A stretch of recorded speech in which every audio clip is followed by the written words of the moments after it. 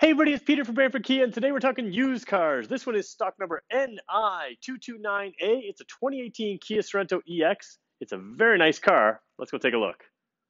All right, 2018 Kia Sorento EX. Now this is the V6 model, which matters because the 2021 model that's coming out will not have a V6. This car is capable of towing 5,000 pounds, and they won't be able to do that anymore moving forward. So this is actually a very good car. It's got a lot of technology in here. We'll get to that in a second. But here's the projector beam headlights, high beams and low beams, fog lights.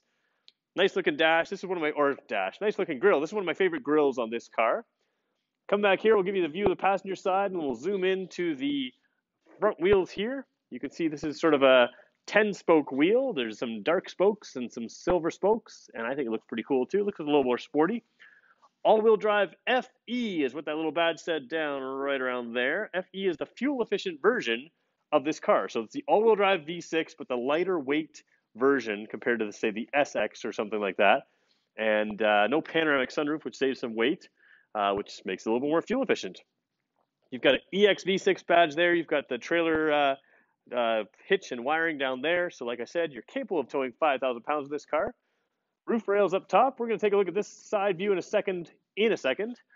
But uh, let me just jump over here. See the little button on the door? That means you have a push button start, keyless entry. You just keep the key in your pocket and you tap that button, the door unlocks. Now, check out this interior here.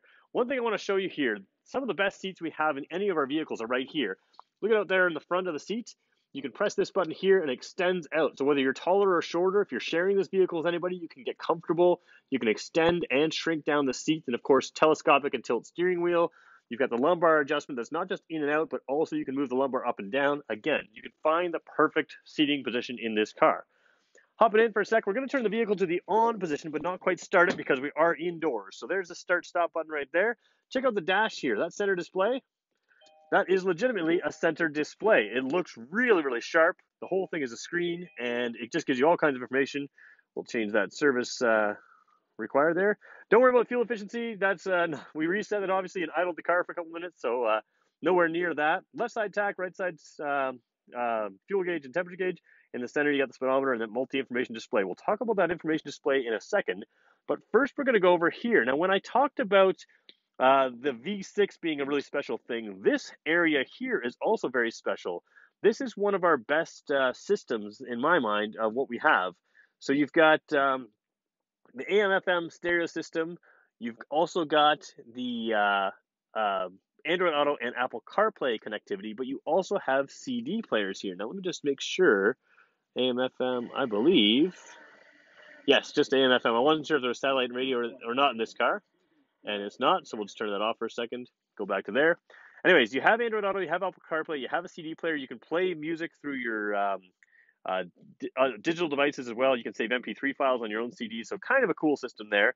Down here, you have a climate control system. Now, what we're going to do is we're going to hit this climate button right there, and you can see we've got a dual zone climate control system. So you can customize the left side and right side uh, passengers up front, make them comfortable. And speaking of left side and right side out front, let's make them let's make them really comfortable with rump roasters, three levels of heated seats, and a heated steering wheel. So very nice features there.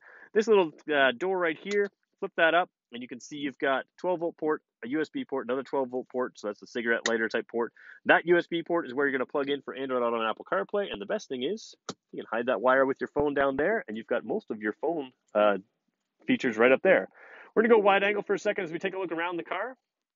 Take a look around. One thing I love here, it's kind of hard to see in the video, but that little panel there wraps all the way around the front of the car, so it's kind of a cool uh, system. It's hard to show on camera. It'll, you'll see it when you hop in the car.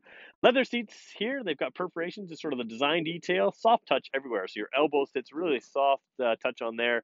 You've got an armrest in the center of the vehicle as well, right at the bottom of the screen there. And uh, it's nice and comfortable. Let's take a look around. This is the seven passenger model. I've got all the seats up right now, so that's going to rob you of a little bit of trunk space when you have them up. But if you are someone like a parent or you've got kids to take around, you've got the latch systems in the seats there, so you can really fit uh, child seats safely and comfortably. Uh, of course, that seven passenger, uh, two seats in the back there, give a little extra room and a lot of practicality. Coming along here all the way back to the steering wheel. Just going to take a look around as we get back there. I'm going to zoom back in again as we do that. You can see what we've got here. Cruise control, of course, on the far right side. Remember that information display panel we talked about in the center of your dash? All of that is controlled from your fingertips right here. Super easy to control. There's a whole bunch of functions in there. Uh, really easy to control, really easy to go through. You can see a lot, learn a lot. Over here, Bluetooth and audio controls. You've got automatic headlights, including the automatic uh, fog lights that come on with your headlights there. So just leave them to automatic. They turn on automatically. And again, like I said, if you've got kids in the car and you're distracted, you don't have to worry about turning your headlights on and off. Blind spot detection, another super good feature. What I like about the blind spot detection is, of course, it warns people in your blind spot, but if you throw this car in reverse, and check out this super clear backup camera, if you throw the car in reverse and somebody's walking from this side or walking from that side or driving from either side, uh, even if you can't see them from the driver's door, you can get warned of people uh, coming or vehicles or people coming this way or that way. It just gives you a little bit extra safety uh, when you're uh, backing up, so uh, you can warn it can warn you of things you can't see. And the other thing it's got, well, speaking of backing up, scroll all the way down here. You've got your parking sensors as well. So the backup beepers. If there's a, let's say, I always say kids things like a tricycle. I drove over my kid's scooter once because I didn't have a backup camera and I didn't have things. So those kind of things will be activated by the beeper. You'll see them in the camera. And again, rear cross traffic alert will act will warn you of people or vehicles coming from one side or the other. Memory seats here as well. Power windows, power locks, power mirrors. Let's help out of the car. As we do that, I'm going to show you what the key fob looks like.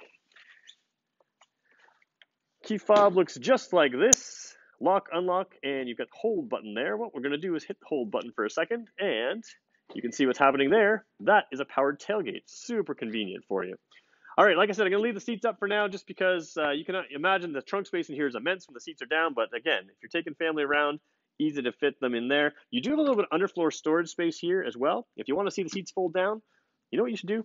Come see this car in person. It's a great uh, vehicle. Over there on the right side, there's a 12 volt port as well.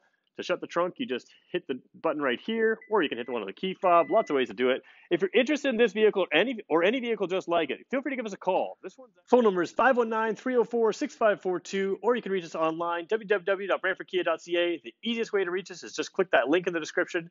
That'll take you right to our sales team. Thanks everybody for watching.